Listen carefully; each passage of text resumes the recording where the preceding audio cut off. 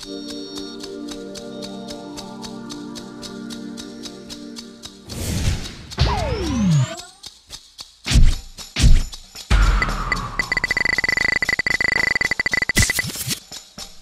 жилийн хугацаанд бид юуг туулдаг вэ?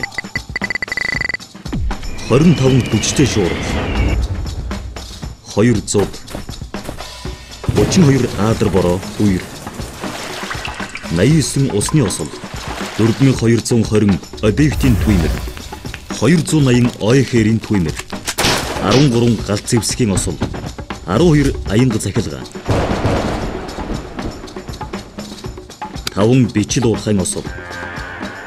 172 хүм малын гоц халдварт өвчин. Энэ хугацаанд бид юуг алдав?